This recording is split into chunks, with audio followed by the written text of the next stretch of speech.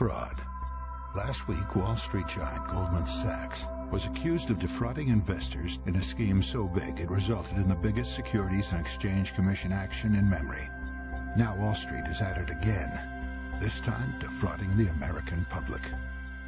Now, a Rachel Maddow expose tells us Wall Street has even hired some of the same PR people who defended big tobacco and the Burmese military dictatorship.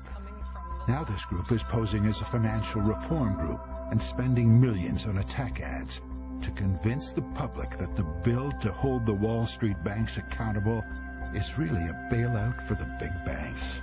Tell Wall Street, stop shorting America. No more fraud on the street. No more fraud on the airwaves. No more fraud in Congress.